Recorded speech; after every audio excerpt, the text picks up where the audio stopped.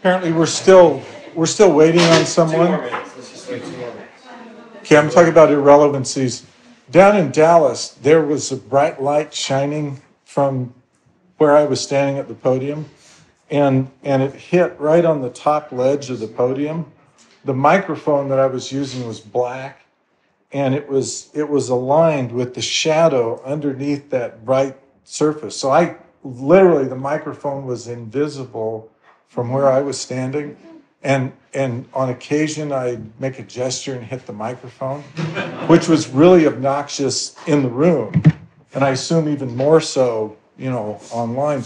But the recording people have the ability to, to take those spikes and reduce them down and make it better. But it was obnoxious. And it, what bothered me was it'd make a conscious effort to get back from the microphone and wherever it was. Yeah, I mean, you literally could not see it against the black of the shadow that was behind it. And How many people were there?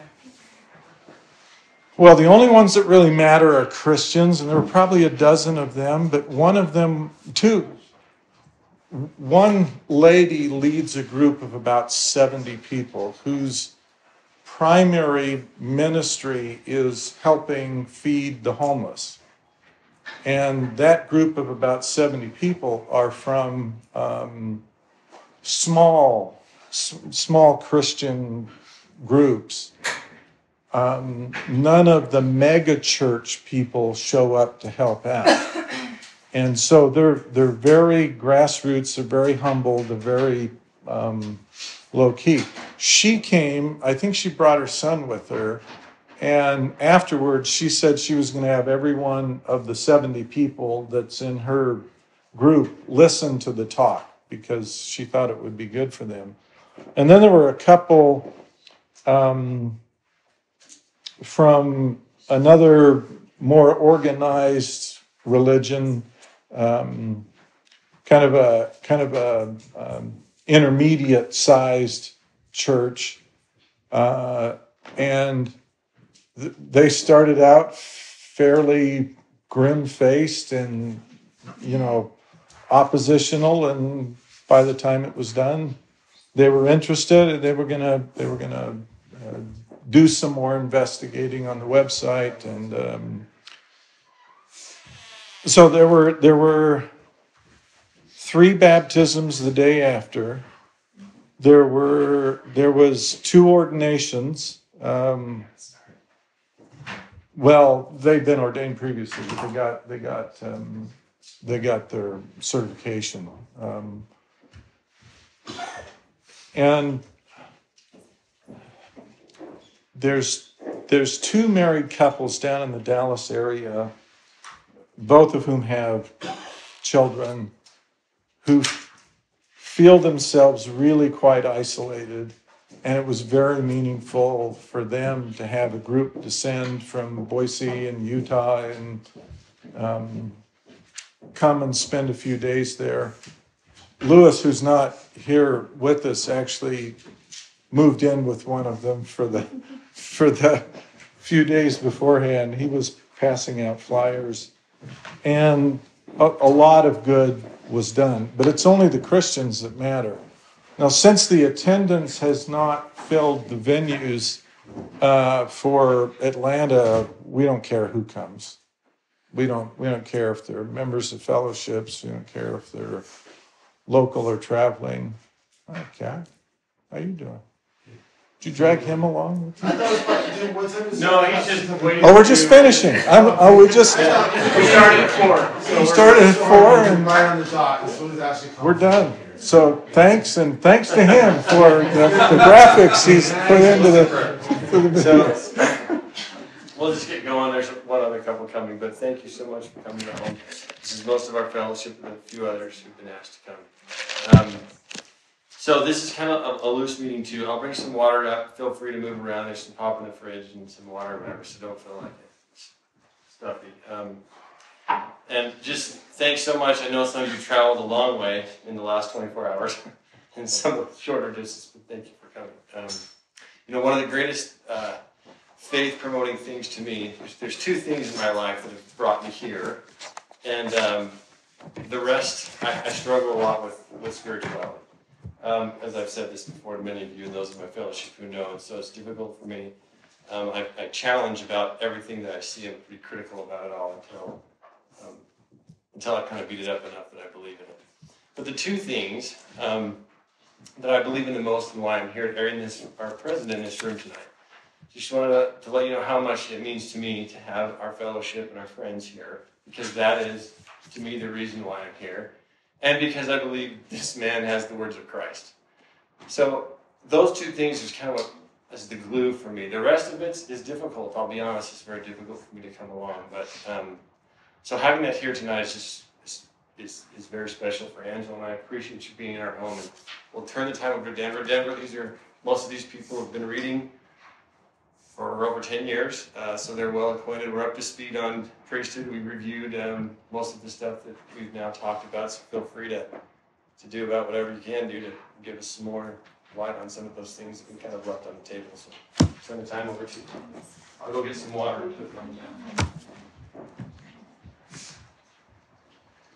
and uh,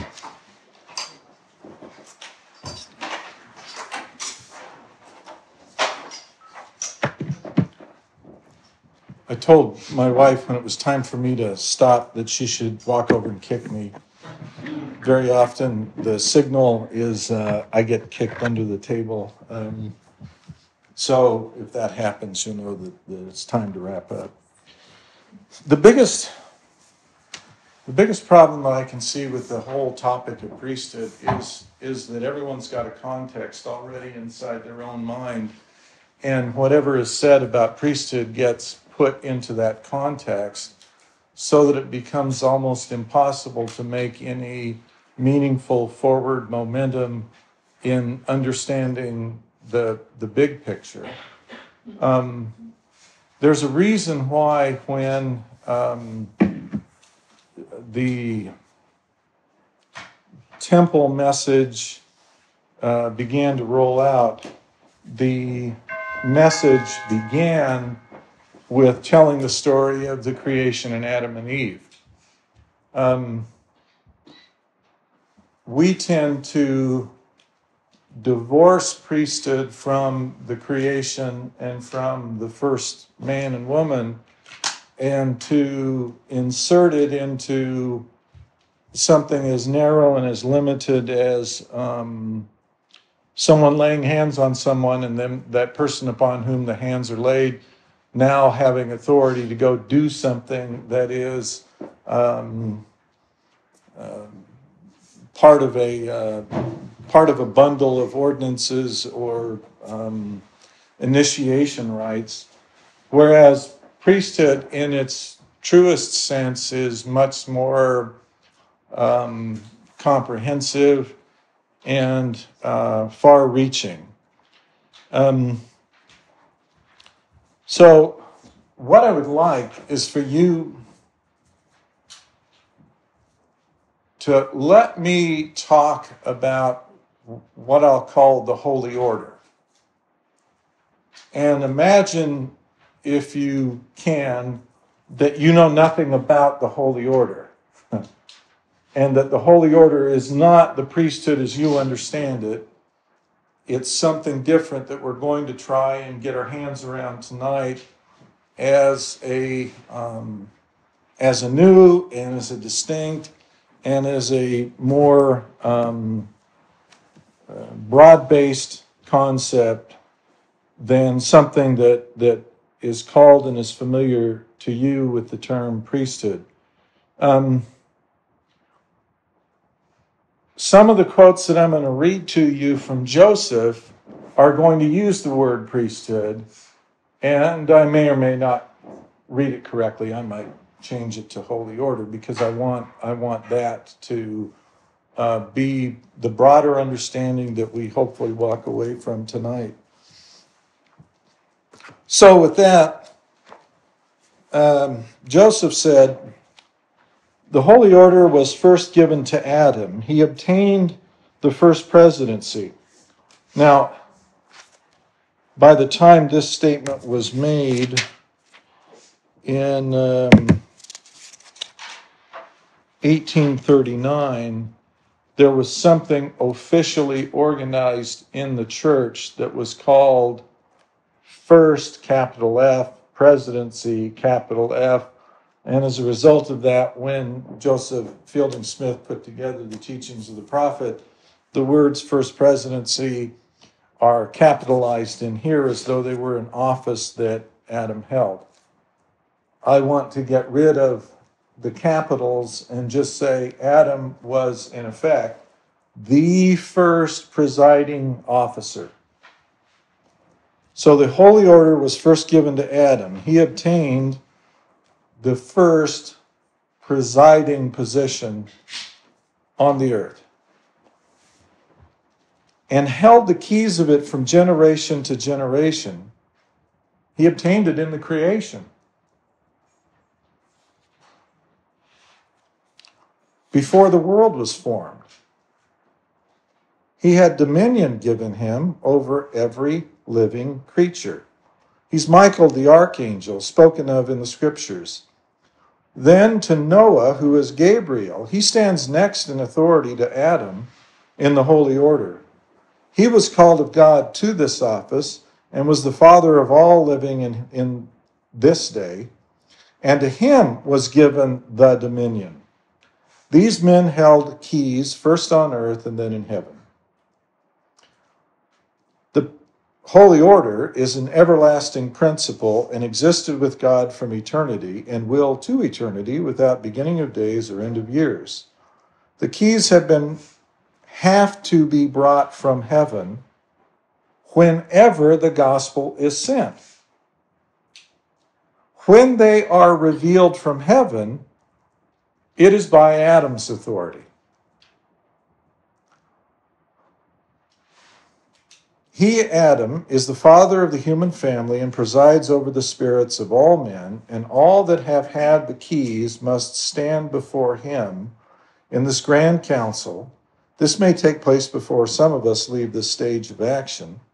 The Son of Man stands before him, and there is given him glory and dominion. Adam delivers up his stewardship to Christ, that which was delivered to him as holding the keys of the universe, but retains his standing as the head of the human family. So the, the holy order really begins at the point that Adam, the first man, who's called the Son of God in Luke 3 38, Adam, the first man, um, obtains the holy order in the beginning, and included within it is the right to preside over all of the human family. And then um, the right to minister to his posterity and to continue to hold that presiding position until the end of time. Now, Joseph skips from Adam down to Noah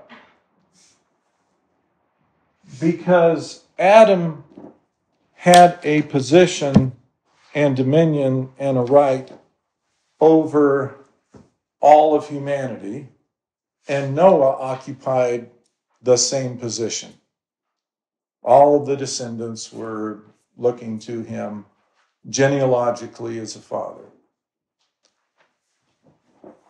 The right descended down to Noah through the fathers, and these held that same holy order. But they had siblings and they had relations who were not their descendants. And therefore, although they were within the holy order,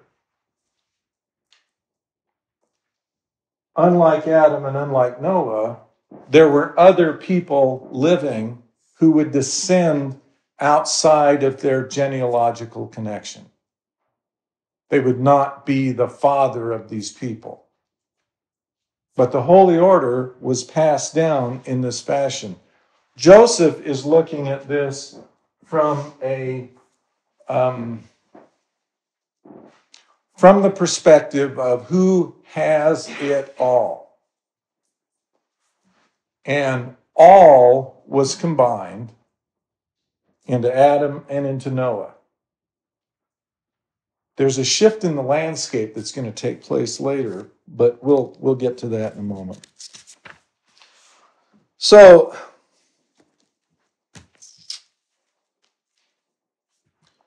Joseph says there are two priesthoods spoken of in the scriptures, Melchizedek and Aaronic or Levitical. Although these are two priesthoods, yet the Melchizedek priesthood comprehends the Aaronic or Levitical and is the grand head and holds the highest authority, which pertains to,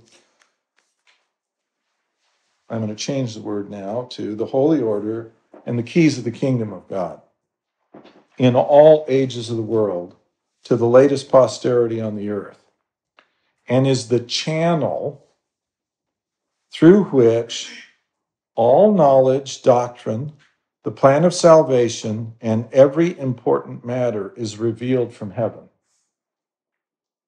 comes through the holy order. Its institution was prior to the foundation of this world, or the morning uh, stars sang together, or the sons of God shouted for joy and is the highest and holiest order, and is after the order of the Son of God. Okay, I'm going to pause there. Um, we think that the renaming of the holy order to the Melchizedek priesthood in order to avoid the too frequent repetition of the name of the Son of God was done out of respect for the Messiah, Jesus Christ, and that's true enough. However, the Holy Order, by its very nature, includes the holy order after the order of the Son of God, one of whom was also Adam. When the Apostle John wrote his epistle, he described those who had come in by way of conversion through him and had received from him what the Lord had given to him. And he says, Behold, what manner of love the Father hath bestowed upon us, that we should be called the sons of God. Therefore the world knoweth us not, because it knew him not. Beloved, now are we the sons of God. And it doth not yet appear what we shall be, but we know that when he shall appear, we shall be like him, for we shall see him as he is. And every man that hath this hope in him purifieth himself, even as he is pure.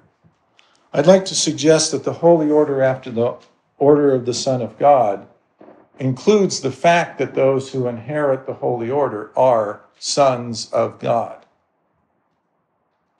Therefore,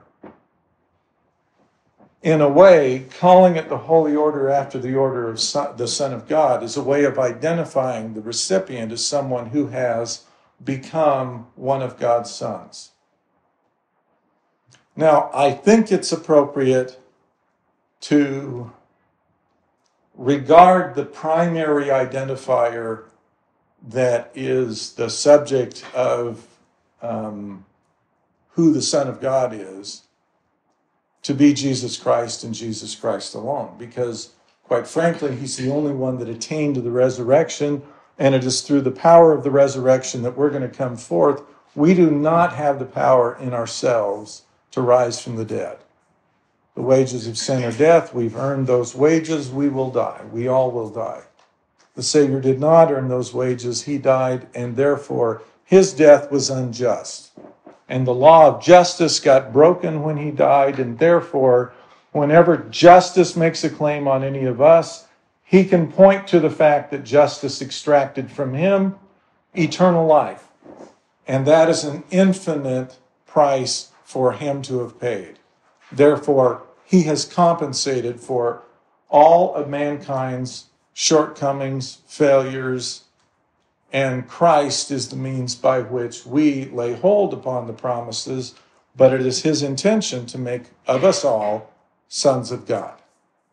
Therefore, the holy order after the Son of God is, when the name is announced, self identifying the person holding such a holy order as one of God's sons, even though they may be mortal, even though they may be in the flesh.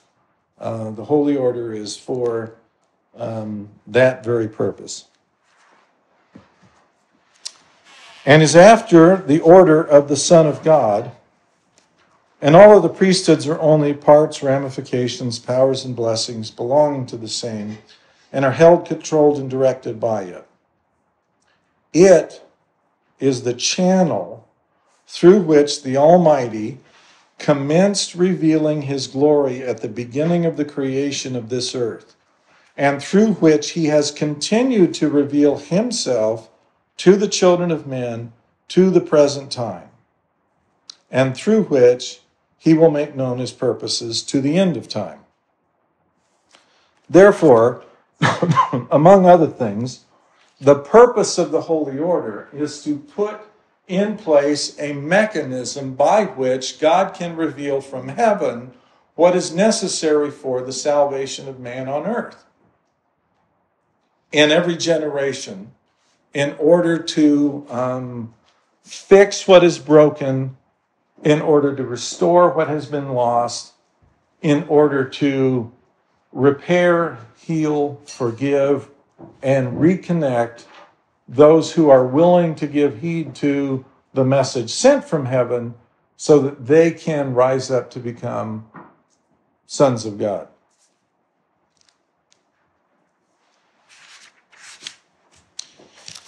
Um, so, the Holy Order descended from Adam in turn. And if you we're not going to do it, but if you take the time to go through and look at who got ordained, um, Seth was a replacement for the slain uh, Abel. Cain was uh, an elder brother. Cain would have qualified as the elder brother if he had been righteous for inheriting the holy order. And um, he had lived long enough and he had been observed by his parents long enough so that Eve identified Cain as a man who had been gotten from God. Therefore, she knew he would not fail which means that for at least some prolonged period of time, after the sons and daughters of Adam and Eve had drifted into apostasy, Cain exhibited not only an interest, but an adherence to um, what was being taught by the first parents. And so Eve um, celebrated that they had at last someone to whom the, the holy order could be passed. Cain was not the oldest son, he was the oldest righteous son. And as the oldest righteous son, it would have passed to him in due course. Um, Abel, his younger brother, was probably in his day righteous because of the positive example of his older brother Cain. If you've got someone in the family who is on the right path, it's so much easier for the sibling to respect the example of someone similarly situated with them than it is to listen to the parents. And so Abel likewise followed in the path of righteousness.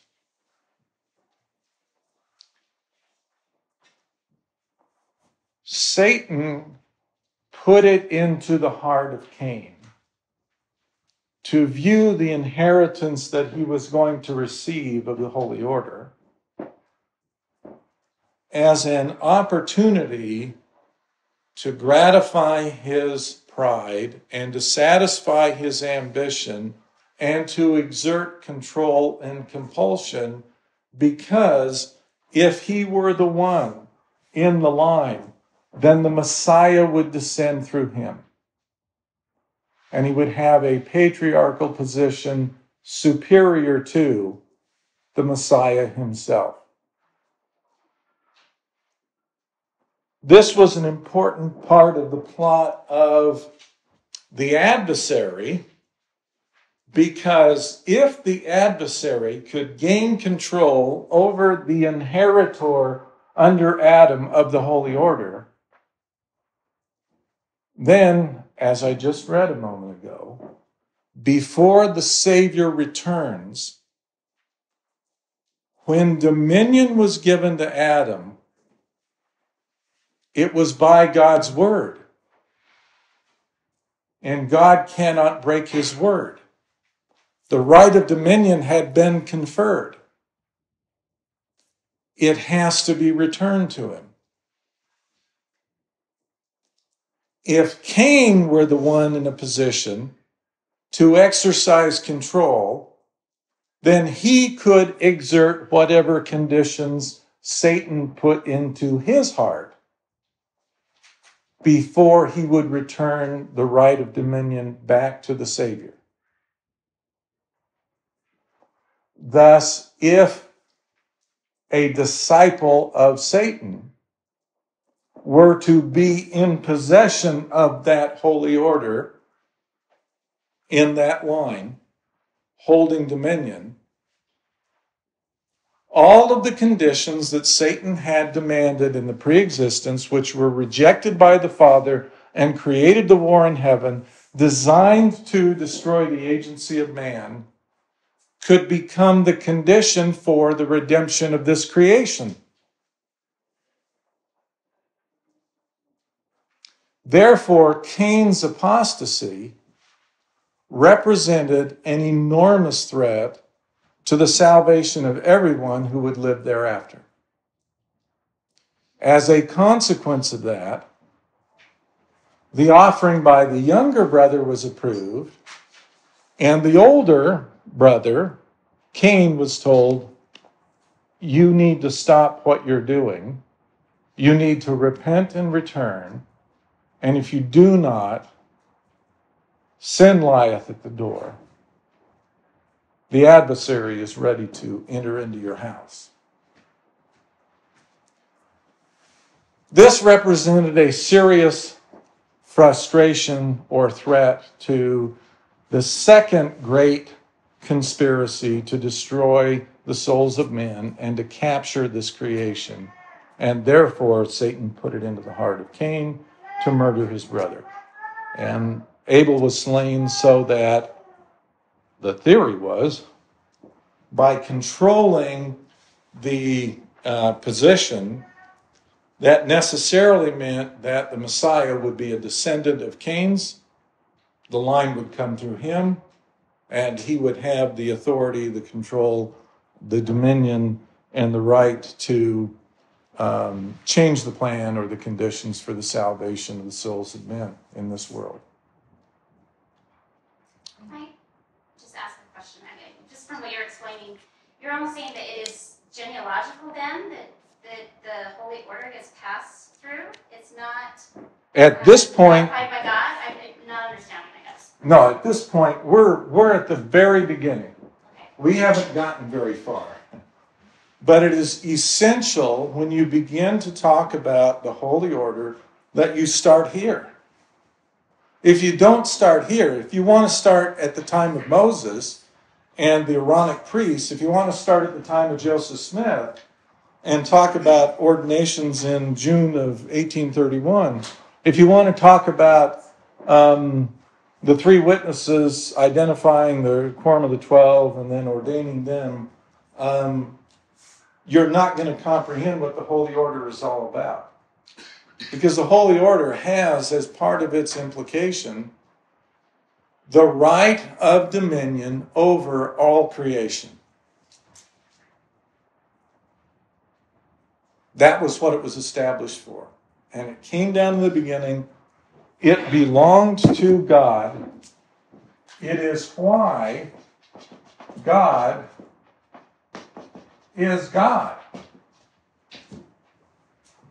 in essence, the holy order is to create of flesh and blood a surrogate for the father and mother. That's what the holy order was designed to accomplish. So, in the beginning, when you're talking about this process, the reason why we have Seth as the next person is because Cain fell, Abel was murdered, and perhaps because of the example, Adam and Eve in their sorrow were able to inform Seth of things that secured his fidelity to God. Um, it descended in regular course down through these fathers until you get to Shem, who was um, called Melchizedek, Melech, king, Zadok, uh, priest. It's a it's a new name for the man Shem, and then it simply falls into disrepair or apostasy, and we have we encounter our first gap in the um, in the descent from the days of Adam down, which lasted several generations until we get to Abraham. Abraham also happened to um, have a genealogical right, um, but that wasn't what was important. In the case of Abraham, finding there was greater happiness and peace and rest for me, I sought for the blessings of the fathers. The blessings of the fathers after which he was seeking was the holy order. He wanted to become one like those that have been in the beginning. Yeah. So I, I think I still have a similar question like Angela. Like Angela. Um, so if you if, say Cain got the holy order, um, he decided to use it for various purposes. How come he wouldn't just lose it by virtue of not not yet by having evil intentions? How come it just wouldn't be taken at that point? When God spoke to Cain, he called him to repent. So God speaks to Cain and tells him to repent. He didn't repent. He did forfeit. But he forfeited it by becoming the first murderer. So the first time that you do something wrong, would you want God to say, There you go, you're done, you're cut off, you will never uh, have an opportunity to become what I would like you to become a son of God? Or would you want him to call you to repentance? Because God called Cain to repent.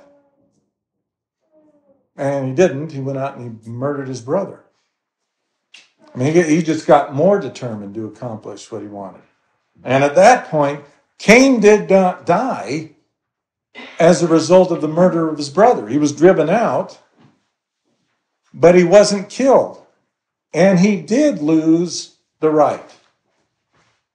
So even though he was living, and even though he was alive at the time of his brother Seth, the right went to his brother exactly for that reason. But the first instance of error, I mean, heavens. Kirtland's Safety Society may have been enough to get rid of, of Joseph's um, position. I sought for the blessings of the fathers and the right whereunto I should be ordained to administer the same having been myself a follower of righteousness, desiring also to be one who possessed great knowledge, and to be a greater follower of righteousness, and to possess a greater knowledge. When you think of the holy order after the, the order of the Son of God, don't think of it exclusively as some sort of status. It's implicit that what that includes is possession of great knowledge and greater knowledge.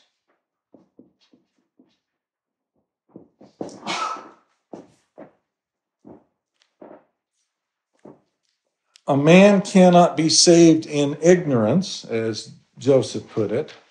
A man is saved no sooner than he gets knowledge. But implicit in those statements by Joseph Smith is that the purpose of the knowledge is so that you can be a greater follower of righteousness. It's not so that you can play spiritual trivial pursuit and win. Because the knowledge has to be implemented into practice in order for it to have the desired effect. Without accompanying obedience to the things that are known, there is no salvation in that. It has to be, um, as, as uh, Abraham puts it, to be a greater and to possess a greater knowledge and to be a father of many nations, a prince of peace, and desiring to receive instructions and to keep the commandments of God. I became a rightful heir. Okay? At this point in the creation, Adam would have all mankind descend from him, and Noah would have all mankind descend from him, and therefore they would be the father of nations. Abraham knew that was part of what was involved. It's not merely knowledge for knowledge's sake. It's being put into a position in which there is a posterity involving nations that would look to him as they looked to Noah, as they had looked to Adam, as their father. Um, think of fatherhood as an opportunity to nurture, to assist, to provide for, to care for, to, to bring along, to take what is innocent and malleable and turn it into something that is godlike, responsible, capable, something or someone who can who can stand on her own two legs and defend the truth when called upon to do so. Someone that will themselves be a vessel of righteousness. Don't think of a father as a bully with a whip or a belt. What Abraham desired was to be a servant. That was what his ambition to be a, a father of nations involved. And so he became a rightful heir, holding the right belonging to the fathers. It was conferred upon me from the fathers. It came down from the fathers from the beginning of time, even from the beginning or before the foundation of the earth down to the present time, even the right of the firstborn or the first man who is Adam or the first father through the fathers unto me. That's where it came from. A son of God descended through those fathers to Abraham because Melchizedek, after a period of apostasy lasting generations, reconnected Father Abraham into the fathers, which is the issue raised a minute ago about this genealogical thing. This is non genealogical. This is a righteous man in a world of apostasy looking to reconnect to heaven. He becomes the father of the righteous because he's the first example of a generation, a man in a, in a world of apostasy, coming out of that apostasy and reconnecting to heaven. There were generations separating Abraham from Shem. But Abraham qualified to receive the rights belonging to the fathers because he sought for his appointment, he possessed knowledge, he lived consistent with the knowledge he had, he wished to have greater knowledge so that he could obey more commandments, so that he could gain further light and knowledge by the things that he learned through obedience. So when you get to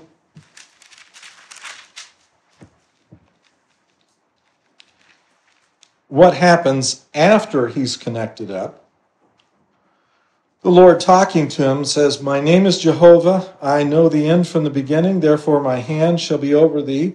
I will make of thee a great nation. I will bless thee above measure, and make thy name great among all nations. And thou shalt be a blessing unto thy seed after thee, that in their hands they shall bear this ministry and holy order unto the nations. And I will bless them through thy name. For as many as receive this gospel shall be called after thy name, and shall be accounted thy seed, and shall rise up and bless thee as their father. That's non genealogical.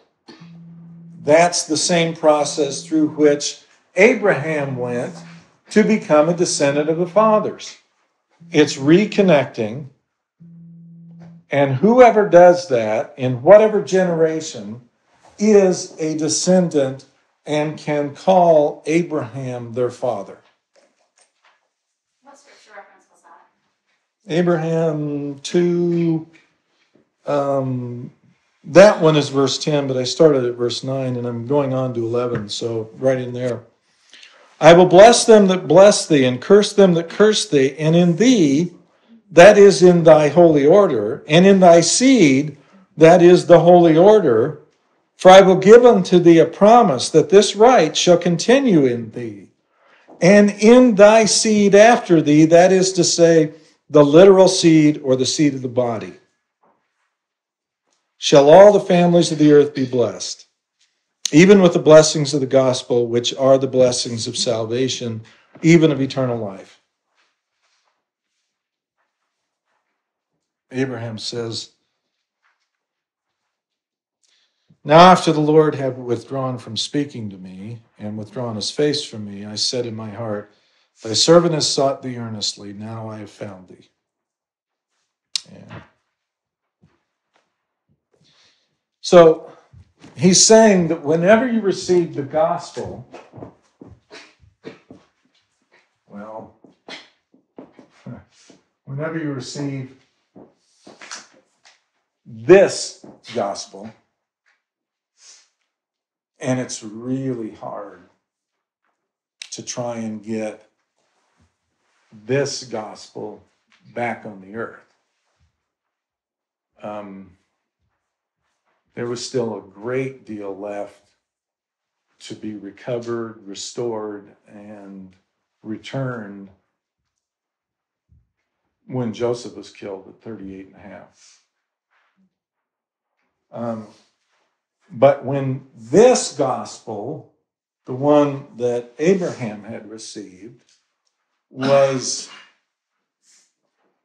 on the earth at any time, then whoever receives that is a descendant of Abraham.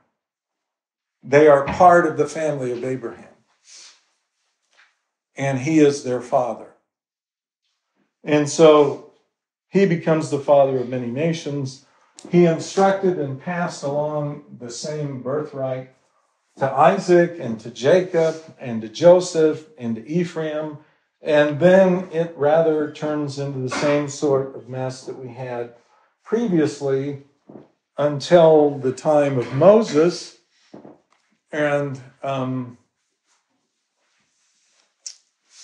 I don't know how much to say about M- Moses really didn't belong to the tribe. Moses really was not identified with the tribe that held the birthright. But um, there's no question that by the time you get 200 years downstream from the days of Joseph and Ephraim, that through intermarriage, Moses would have had in him um, blood of Judah, blood of Ephraim, blood of Benjamin. They intermarry. There, there's a practice among some um, Indian tribes that um, the, the tribes are the nation, and inside the nation there are clans. When a um, a daughter gets to be marriageable age, she is forbidden to marry inside her clan. She has to go marry into another clan. So the boys from the other clan court girls who are not of their clan. And when they marry, the girls go to live with the clan of their um, their husband. So if they're from the Water clan and the female, and she marries someone who's the Bear clan, she's now part of the Bear clan. Genealogically, she's Water clan. Governmentally, she's Bear clan. So, how you reckon who Moses was a descendant of is not based upon doing a DNA search or looking at a genealogy chart to figure it out. That's not, that's not how it was done. But M- Moses is um, an isolated restoration of a single person into the position in which he could have brought all of Israel back into God's presence, and we could have had essentially Zion. But Israel was, after being habituated to slavery for 200 years, not willing to climb up the mount. Probably felt themselves incapable of climbing up the mount. I mean, they were perfectly willing to go along with Moses. Of course, there were some ne'er do wells out there in the wilderness, too. Kept them out of the Holy Land. But Moses arises, and that brings up in 181 a statement that Joseph Smith made.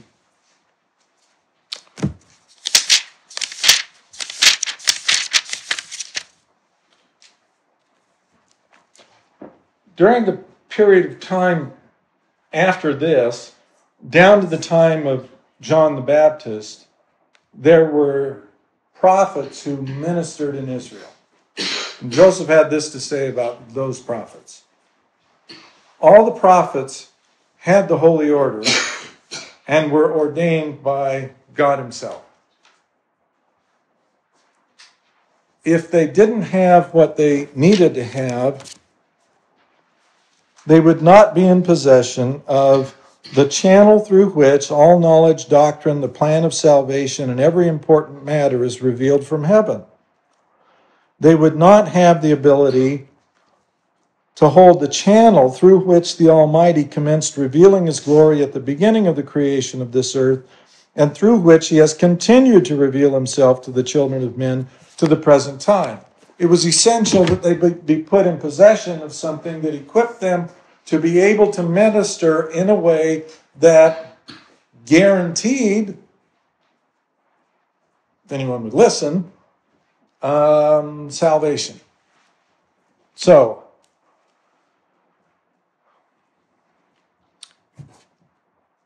then we get down to something more immediately important to us, and um, that is Peter, James, and John. Now, I'm not going to read it because I want to move along a little more quickly. But you remember a few minutes ago, I read to you that Adam holds the keys of all dispensations, and that Adam holds the keys of the dispensation of the fullness of times.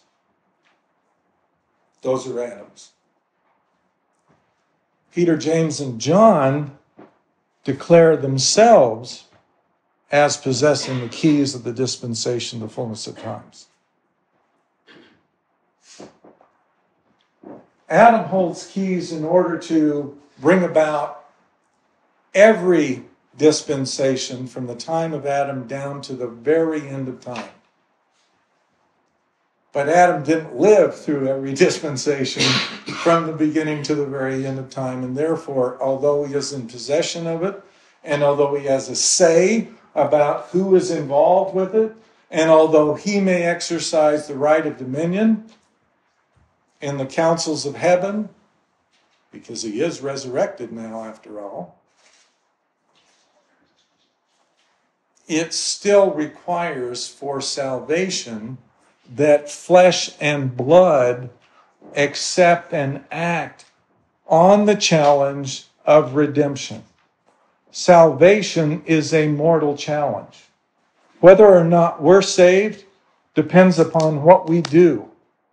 We don't have angels running around fixing all our errors. We have no immortals that are going to come to our rescue. Except at the second coming, of course, to destroy the wicked and to visit with those who are wheat. But the best way to understand it is um, once the once the lifetime of the three Nephite disciples who asked to tarry on the earth ended. The way they continued their ministry was to minister to prophets, mortals, and then the mortals ministered to others. They came and they visited with Mormon, for example. But the people to whom Mormon ministered didn't see them. They ministered to Moroni. But those to whom Moroni ministered didn't see them. They become as a ministering angel. And the ministering of angels is predicated upon the faithfulness of people I mean, you can read about how the, the system of salvation works. It's in Alma. Angels minister to those who are supposed to then preach salvation to others in order to inform them about the conditions that are needed to be met for the salvation of others. John the Beloved has become a ministering angel. And he has a ministry And there are those people who expect them to step out in public and to do what people of flesh and blood are obligated to do. Well, it's kind of unfair to that generation. And an apology will be owed to every other generation if the angels suddenly assume the obligation to accomplish things which, from the days of Adam, had been primarily the obligation of mortals to accomplish, with some to whom angels minister, ministering to others. So,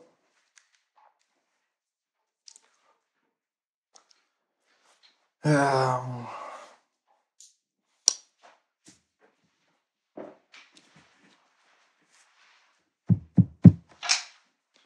I'm gonna, this may seem like a diversion, but it, but it's really not. I'm gonna read to you from, um, this is the, this is the fifth volume of the, uh, documents of the Joseph Smith papers. Um, in the um, in the regular course of maintaining um, documents, there were patriarchal blessings that had been given um, sometime earlier than this volume five, and the blessings are in um, I think history's volume one, where they're written down whole bunch of blessings given, I think, at the same time. Um, and they're written down. They take about a page. And no, no. It takes about three pages of typewritten material to put them all in. And it's just person after person after person, patriarchal blessing. When they get recorded in the documents um, of the blessing. Oliver Cowdery is the one who's acting as scribe to, to, to convey them from the notes you get in volume one of the documents into the separated, separate blessings in volume five. Before they show you the um version that Oliver Cowdery records in five, the church historian's office gives a little explanation of why what you're about to read is enormously expanded from what you saw in volume one.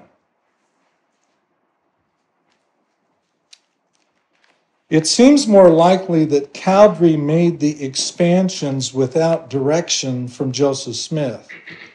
This would not have been the only occasion he did so. There is evidence that Cowdery altered at least one other blessing text, his own, when he recorded it in the volume. There is no direct evidence that Joseph Smith was involved in expanding and editing the 1833 blessings in September or October of 1835, and there are reasons to think he was not.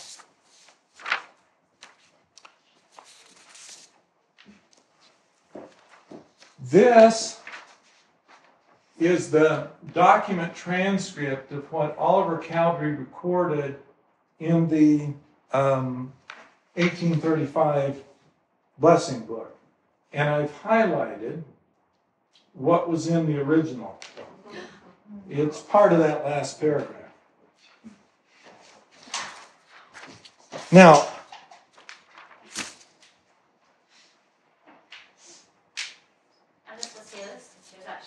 no, this is Don Carlos's. No, I, Oliver Cowdery's is too many pages. Don Carlos's was the only example I thought I'd copy because it's it's it's kind of like you know, easy to hold in one hand. And that little bit there, Paul, that, that he did that with all of them, or just, oh, yeah, yeah, yeah. Yeah. Yeah. Why did he do that? He just wanted to make it sound. Well, someone in my handwriting in pencil is written on the margin of my version of this book. If Cowdery made changes on his own to patriarchal blessings, did he also do so for section 27? Why did he do so? Um, Oliver was told in a blessing when he failed um, to translate the text of the Book of Mormon that he would have other opportunities to write spiritual stuff. And sure enough, he took advantage of the license and he did so. So, the, the point I'm, I'm on right now is that if the church historian's office is being candid about the fact that when we get to the patriarchal blessings, and Oliver Cowdery, on his own, blows up the content and includes a lot of stuff on his own initiative, which the greater proof suggests Joseph had no hand in.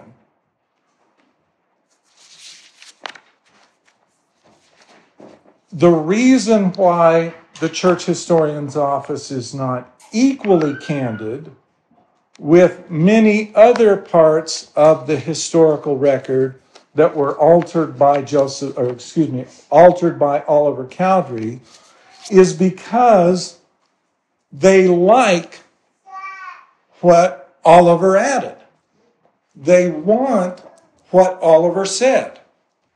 It helps support a traditional narrative that gives them certain rights that they would love to be able to claim belong to them. It's one of the reasons why it was necessary in the third volume of the New Scriptures to go back and to painstakingly examine the original documents of the original revelation that we know that Joseph Smith gave, and then to augment that only with anything that was altered in the handwriting of Joseph Smith and to limit the revelations given to Joseph to that. It's one of the reasons why the new third volume, Teachings and Commandments, are going to be a superior set of scriptures, even though many of the revelations that we're familiar with are going to have greatly reduced content. And some of the revelations will be gone altogether because they simply have no basis for being able to say Joseph was the originator of that, some of which are foundational to authority claims. One more aside.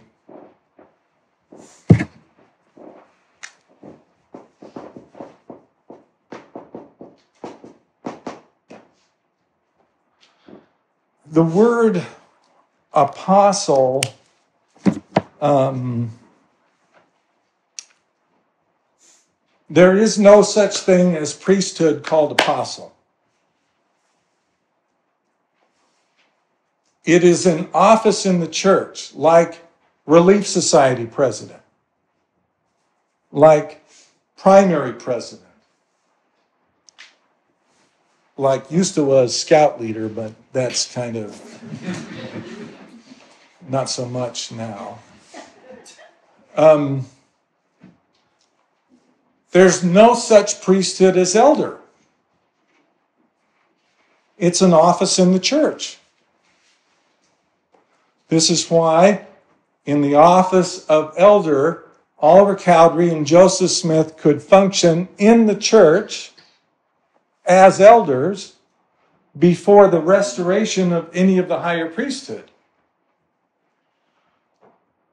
This is one of the reasons why we are particularly vulnerable in our lines of authority because for about 22 years during the presidency of Heber J. Grant,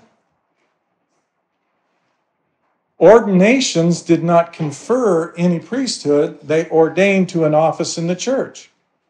And while the person ordained to the office in the church was authorized to function in the office to which they were ordained, conferral of priesthood is a separate matter. So you can have them be apostles without them being um, recipients of the priesthood. Now, I say all that to suggest that when it comes to parsing the events of the restoration involving Joseph Smith and Oliver Cowdery, the historical narrative upon which you base your understanding needs to be pretty carefully examined. The best source material from which to draw is actually a composition that Joseph Smith began after Oliver Cowdery had been excommunicated from the church. Oliver's excommunication happened in April of 1838, and with him and David Whitmer and John Whitmer gone, John Whitmer was the church historian. He took with him all of the records that um, had been compiled involving the events of the restoration up to that time. And so in 1838, Joseph Smith began the recreation of the history of the events in the restoration. Um, Joseph Smith's um, history is, is it's identified in um, Histories Volume 1 of the Joseph Smith Papers. What he wrote in 1838 is draft one, and it's been lost. We, we don't have what he wrote in 1838. But Mulholland, who was his clerk at the time, recopied it in 1839, and that's called draft two. We have internal um, material in draft two to suggest it was a really faithful copy because he copied it in 1839, but all of his dating is 1838, the year before. So when the internal dating copied by Mulholland in 39 is 1838, a year earlier, it suggests that he was not doing anything to revise, change, or alter what Joseph had put down. In the earliest history that Joseph Smith wrote,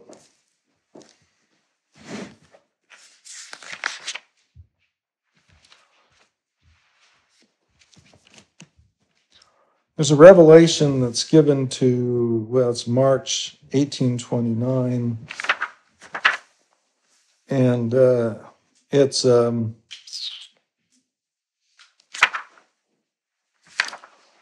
it's a revelation to Martin Harris that includes some interesting language that touches up against the topic we're on tonight.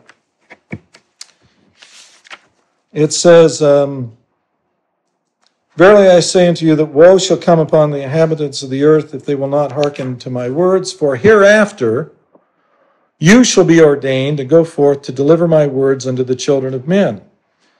Behold, if they will not believe my words, they would not believe you, my servant Joseph, if it were possible that you could show unto them all these things which I have committed unto you.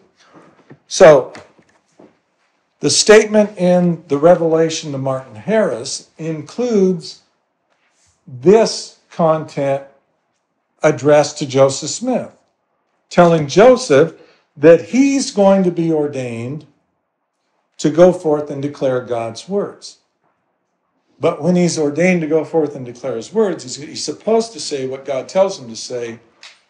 And if they won't believe that, it wouldn't matter if you told them everything that had been committed to Joseph Smith, they wouldn't believe that either.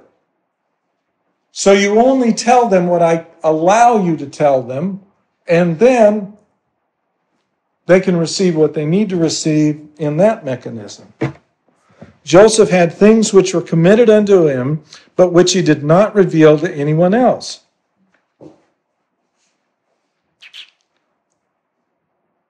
Okay, so promise of ordination. Then we get down 1800 and this is May of 1829. We went into the woods to pray and inquire the Lord respecting baptism for the remission of sins. We found mentioned in the translation of the plates.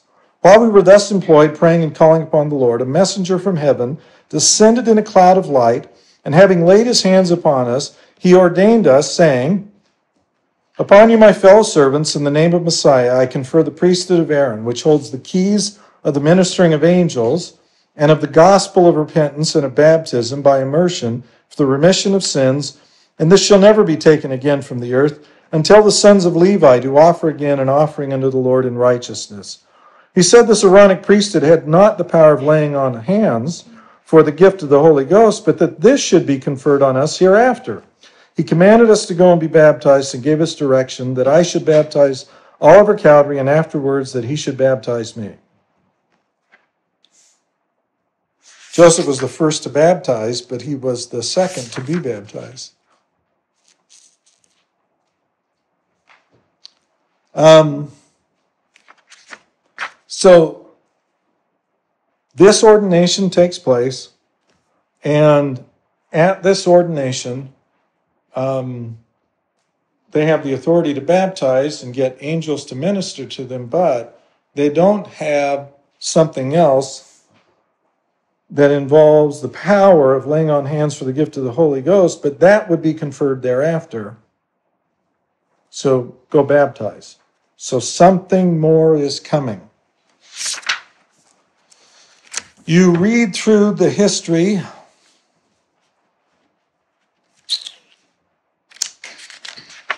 And there's no mention of the appearance of Peter, James, and John, but there is a desire on Joseph's part to get this higher priesthood.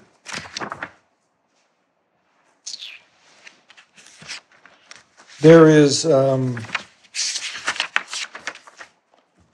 also in the account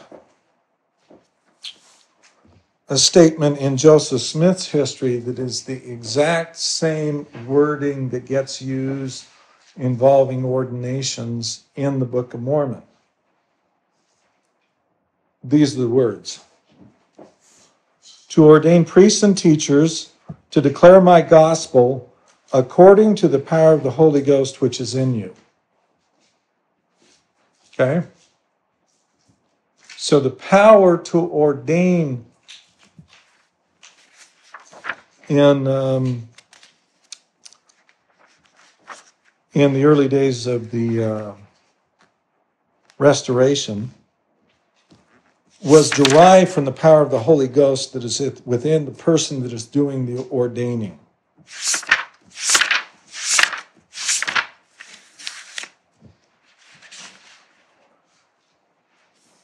Ordinations continue. Now, we're talking about elders, priests, teachers, teachers, or deacons, is to be ordained according to the gifts and calling of God unto him, and is to be ordained by the power of the Holy Ghost, which is in the one that ordains him. So, ordination early in the restoration was uh, accomplished in the same way as ordination was accomplished in the Book of Mormon. That is um, by the power of the Holy Ghost that is in the person um, being ordained. All right, so Joseph Smith writes a letter while he's in exile in Nauvoo. And the, the letter also tracks what he did in his histories, but he mentions something that is not mentioned in the histories. And again, what do we hear? Glad tidings from Cumorah. Moroni, an angel from heaven declaring the fulfillment of the prophets, the book to be revealed. A voice of the Lord in the wilderness of Fayette, Seneca County, declaring the three witnesses to bear record of the book. The voice of Michael on the banks of the Susquehanna, directing the devil when he appeared as an angel of light, or detecting. The voice of Peter, James, and John in the wilderness between Harmony, Susquehanna County, and Colesville, Broome County on the Susquehanna River, declaring themselves as possessing the keys of the kingdom of the dispensation, the fullness of times.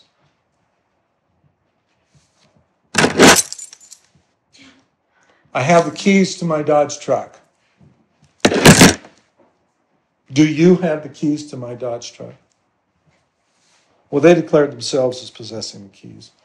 And again, the Father of God in the chamber of old Father Whitmer, and at sundry times in divers places throughout uh, all the travels and trib- tribulations of the Church of Jesus Christ of Latter day Saints, the voice of Michael the archangel, the voice of Gabriel and of Raphael, and of divers angels from Michael or Adam down to the present time, all declaring their dispensation, their rights, their keys, their honors, their majesty and glory, and the power of their priesthood, giving line upon line, precept upon precept, here a little and there a little, giving us consolation by holding forth that which is to come, confirming our hope. So, Joseph Smith is saying that he was in the possession of great knowledge, but he also came into possession of greater knowledge. Because Joseph was going to be called upon in a very serious role to achieve something that involved trying to bring back nations into the holy order that makes sons of God. Therefore, Joseph could not accomplish what needed to be accomplished without having greater knowledge than existed on the earth. And despite the discovery of Dead Sea Scrolls and Nag Hammadi and research and translation of texts that were not available in English at the time of Joseph Smith's lifetime, the fact remains that much of that material was simply corrupted. And if you're going to try and understand the truth, the way in which that is brought about is by having possession of a channel through which all knowledge, doctrine, the plan of salvation, and every important matter is revealed from heaven. Therefore,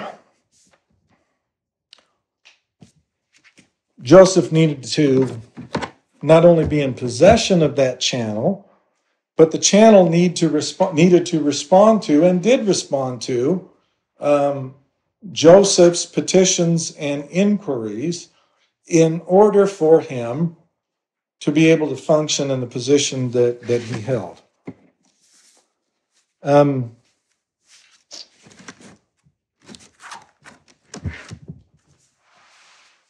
There's a revelation that was given in January of 1841, the last lengthy revelation given while Joseph was alive.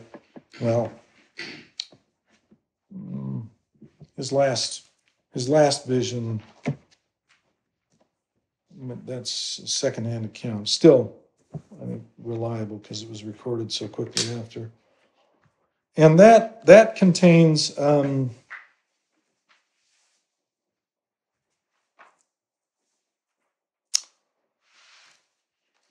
William Smith is going to replace um, Hyrum as a counselor to Joseph, and, and the revelation in January of 1841 records, And again, verily I say unto you, let my servant William be appointed, ordained, and anointed as counselor unto my servant Joseph in the room of my servant Hyrum, that my servant Hyrum may take the office of priesthood and patriarch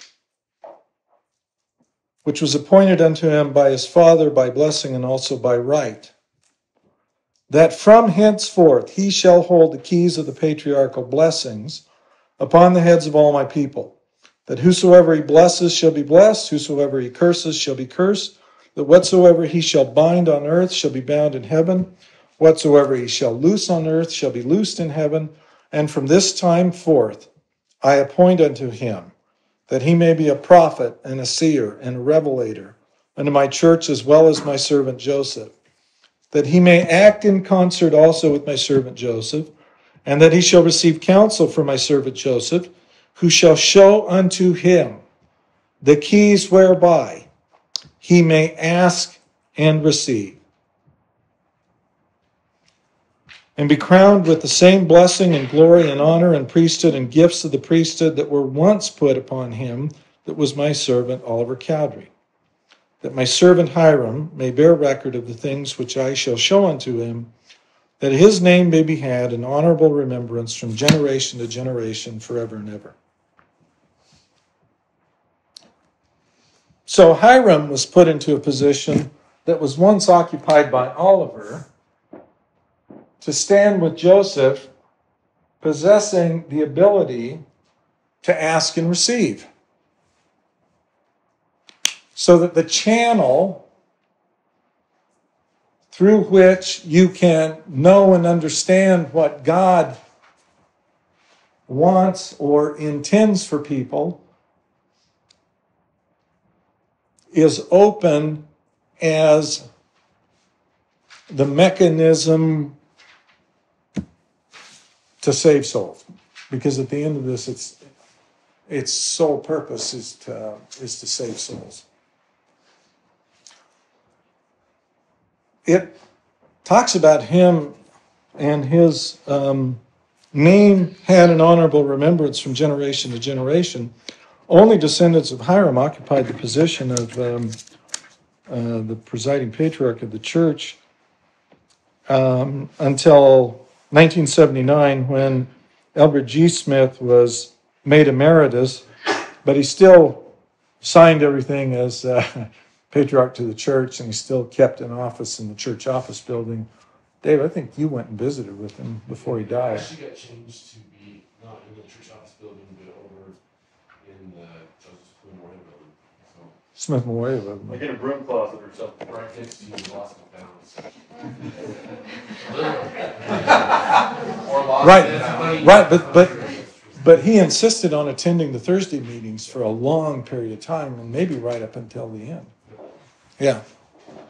On April the 4th of 2013, he died. The office has not been filled, and so far as we know, it's gone forever. So, um,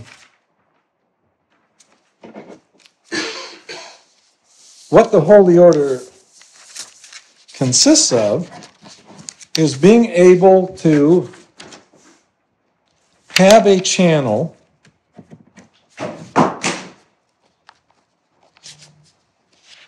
which not only is occupied by God at the far end, but is reigned over by the man who first held dominion over all the earth, Adam. And I'm not going to talk about this until March, but um, there's a reason why it was Eve who identified Cain as the worthy recipient to be the successor.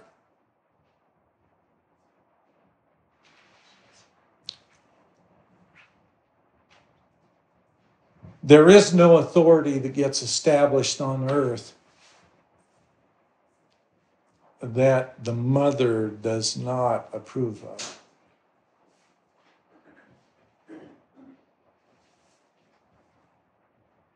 Fathers can be quick to give up hope. Moms hold on a lot longer. Therefore, mothers control certain decisions. And when you say that Adam holds the keys at the far end to preside over it. The name Adam was given to not just the man Adam, but the name Adam was given to Adam and Eve jointly. So when you hear that Adam holds the keys, the best way to read it is in the second way in which the name Adam is applied in Scripture, that is, to both the man and the woman.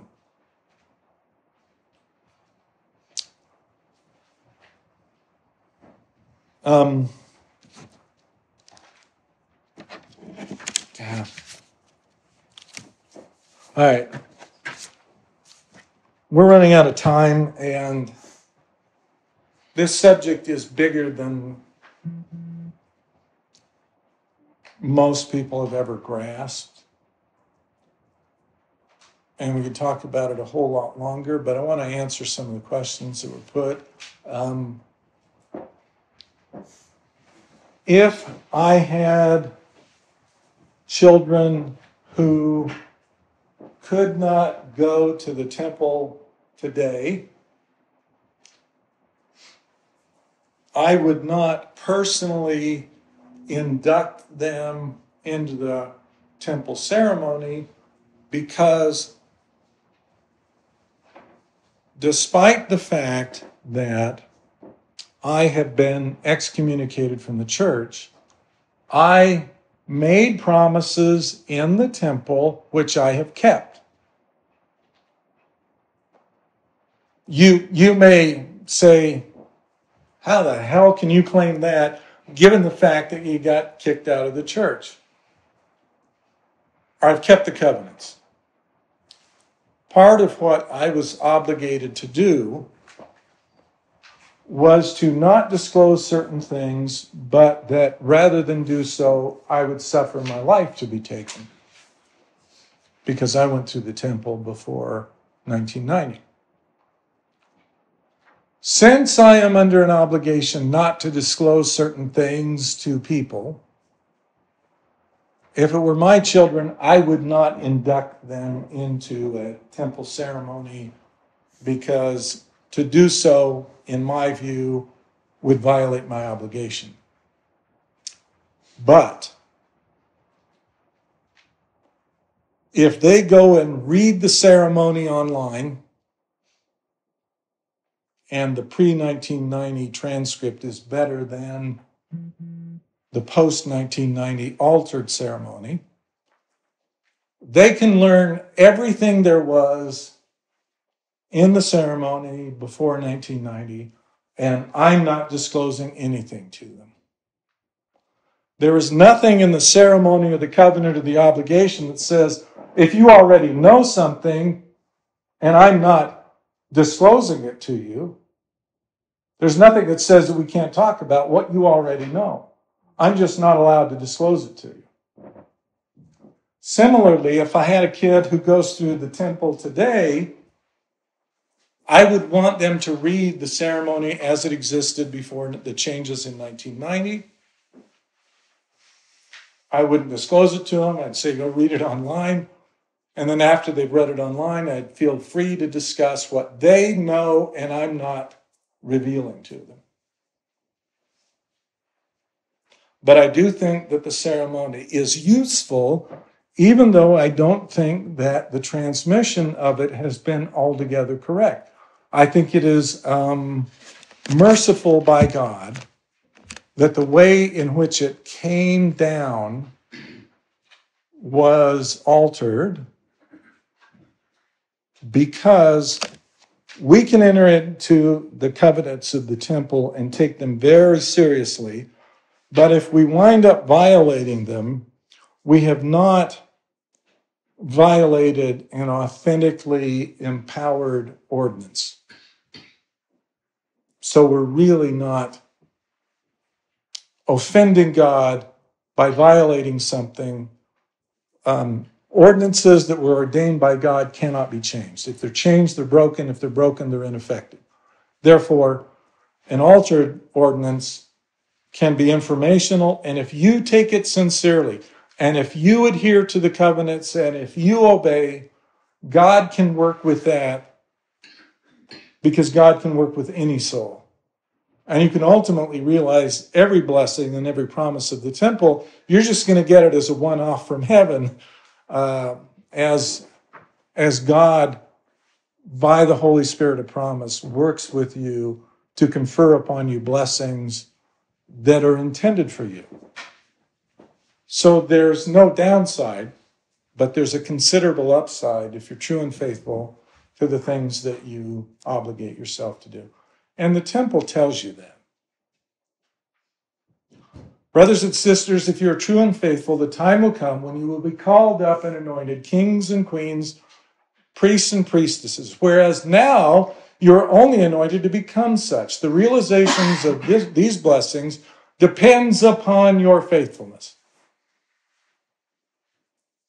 I mean, they dial it right back in the introduction to the ceremony itself almost as if they're making an admission against interest.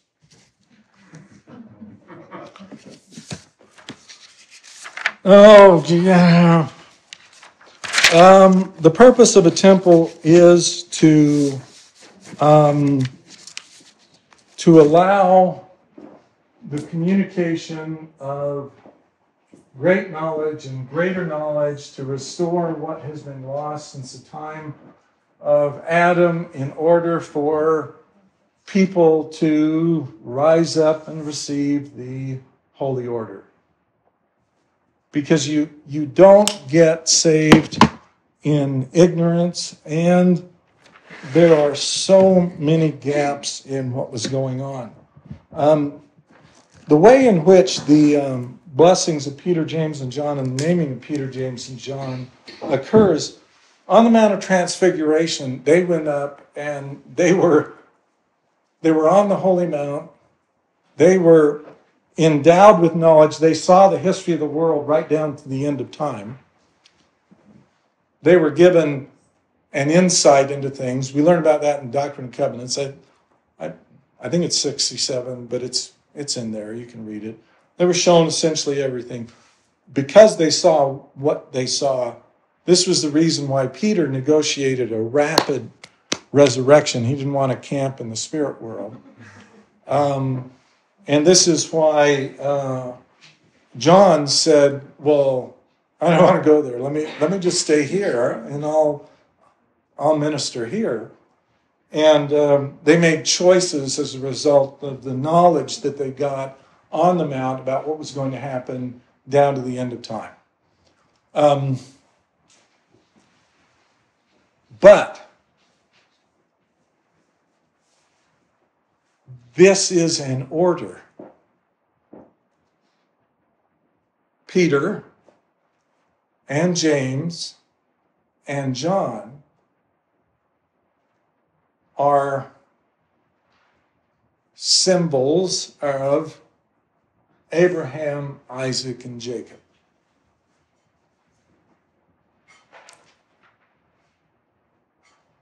grandfather, father, and son. And it was Jacob through whom the nations, the 12 tribes, the 12 nations of Israel, were uh, established. And so, John, I mean, he produced a righteous son I don't know about the children of Keturah, but Ishmael and Jacob have continued their um, bloodshed right down to this minute. Um, Esau sold his birthright and the garment to Jacob, who presented it to Joseph. Um, and uh, he's the one through whom a great progeny developed. Peter, James, and John. John is the one who remained to create as a ministering angel an analogous progeny by his ministrations as a ministering angel through the ages. So when you get to the names of Peter, James, and John in the restoration story,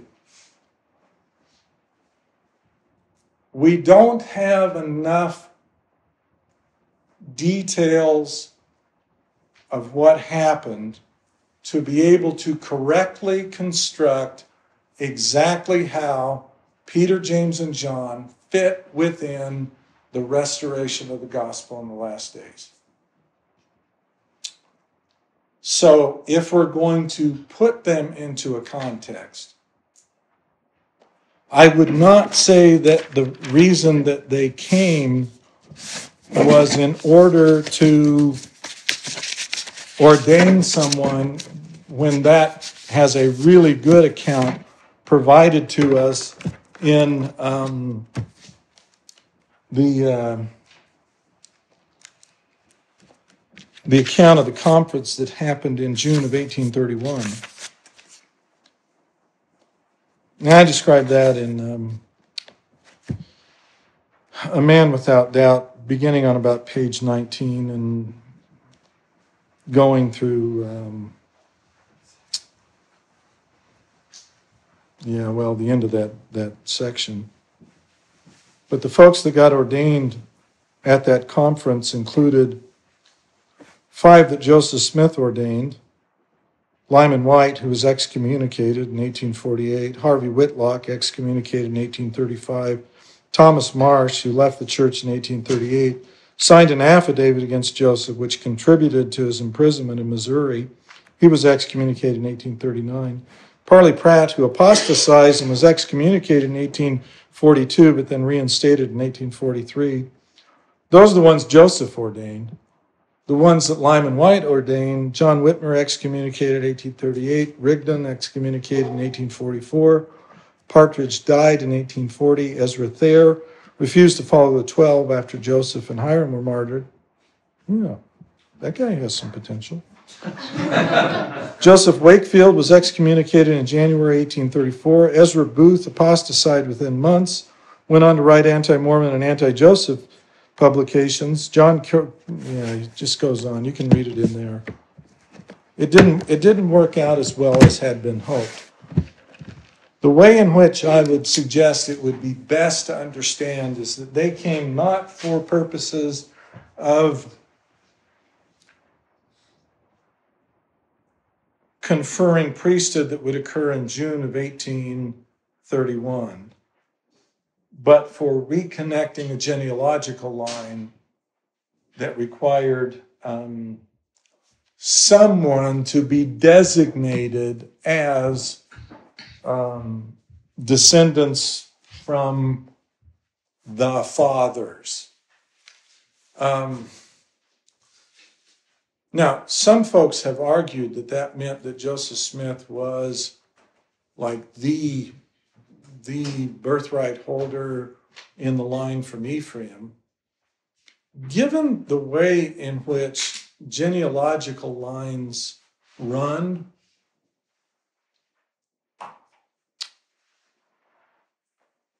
and given all of if if you kill Charles and William and George. And I think there's another one. The the the royal line of England. Then it's all the way back to Andrew. Okay? So you you can have a line that goes on a long distance, but if you have the Thirty Years' War, and you have World War One, and you have World War Two, and you have the Black Plague, and you're following genealogical lines, there's no way to track who God thinks holds the birthright. Then you have the added complication that Esau was older than Jacob, but Jacob was more righteous. And so Jacob got the birthright. Seth had He had older brothers who were grandfathers by the time he was born. But the birthright went to Seth because he was true and faithful.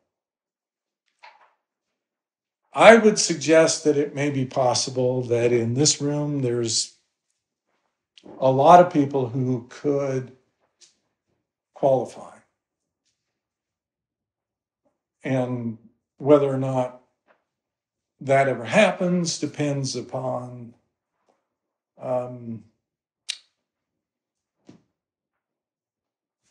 being a son of Abraham,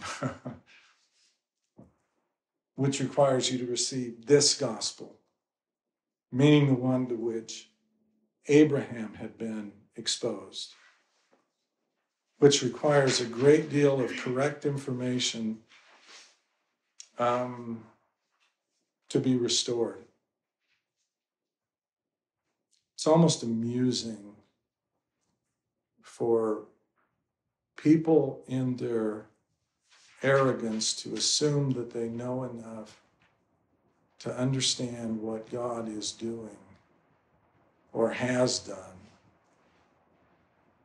because the things of God are of deep import and careful and solemn and ponderous and prayerful thought can only find them out. Your understanding has to reach into heaven itself and search into and contemplate the darkest abyss if you're going to save any soul, including your own. And that's not accomplished casually, nor is it accomplished without sacrifice. A Lord whose own heart was broken ultimately requires a great deal to happen to create a broken heart and a contrite spirit, willing to endure however uncomfortable it may make you feel, all that God requires of you to do in order to be a son of God. And that's not that's not accomplished in an instant suddenly. It's accomplished carefully and over um, trial after trial, test after test, temptation after temptation. But ultimately, it will be required before the return of the Lord. It will be mandatory before the return of the Lord for the original holy order to exist in all of its components. It has to. And there has to be established on the earth all of the rights that originally belonged in the days of Adam. Because that has to be surrendered back. And it has to go back through those that had possessed it in order for God to have the right to come and claim this world as his own and to exercise dominion over it. Because if the dominion over the world belongs to someone other than him, his word cannot be broken and he cannot come and interfere with the right of dominion that exists on the earth. It has to exist, it has to be fully restored, and it has to be in the possession of those who will not covet it. Those who will not, like Cain, attempt to influence the conditions of salvation for the souls of men. Those who look upon it merely as a burden to be held under the authority of God, belonging to Him, to be returned to Him, so that He can come and fix this broken world and bring wickedness to an end. If an aspiring or an ambitious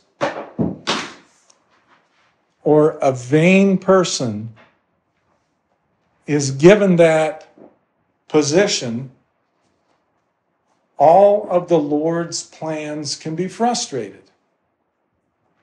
Therefore, we need to be like our Lord, the greatest of all who came here and knelt and served and washed the feet of others, who gave his life as a sacrifice, who trembled and begged not to be put through what the Father commanded that he endure. Nevertheless, that is, despite his own will, that is, in spite of the fact that he did not want to do it. He partook of the bitter cup to the dregs. He was slain, and he gives all glory and all majesty to the Father. That's the kind of person you have to become if you're going to be of any utility to the Lord in the final scenes that are approaching. So I hope we've expanded somewhat the context of uh, the Holy Order and that you realize that the, the term priesthood is, is bandied around in our day um, among most people when they talk about the subject of priesthood is a really tiny sliver of a very big subject about which the world knows very little, and Latter day Saints, because of their arrogance, know even less, because they wrongly assume that an incorrect model constitutes what God is all about. The restoration of all things literally means the restoration of all things, including the Holy Order. And it doesn't stop with the New Testament church, it's got to go back to the days of Adam. Of that, I bear testimony. Um, with ample reason to be able to discuss these things. In the name of Jesus Christ, amen. We've gone over the time I thought we would be, and come claim your phone. Are you open to answering any questions about the content? On my way to the car, yes. Questions just create problems, but if it's a good one, yeah. Deal with it No, later. that's a good question. Um, l- we'll see. In, in, in St. George, you am rather emphatically declared that anyone who declares the gospel of Abraham is inferior or less than the gospel that was given to Adam, that person, if they don't repent, they're going to regret it. And paraphrasing, but Yeah, yeah. um, it's I, I see here what that means based on what you put on the board. This gospel, it's the same thing that Adam had. Who is teaching that it's not? That was so emphatically Who's that directed called to repentance. That's Or- just yeah, it's just bewildering. Or, or I mean, is that Well, I don't want to name names, but there's some folks who've studied this out okay? who believe that the gospel of Abraham is inferior to the gospel of Noah, the gospel of Adam, and the. the Okay, they- so they- someone was teaching that.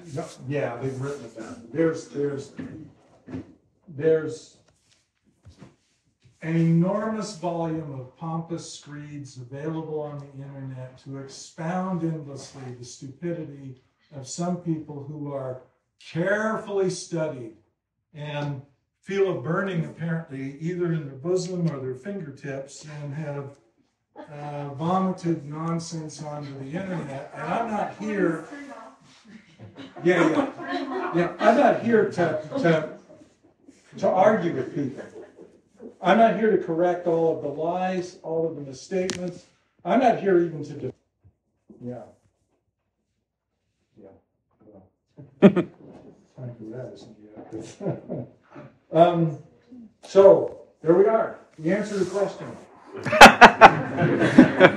Better run for it.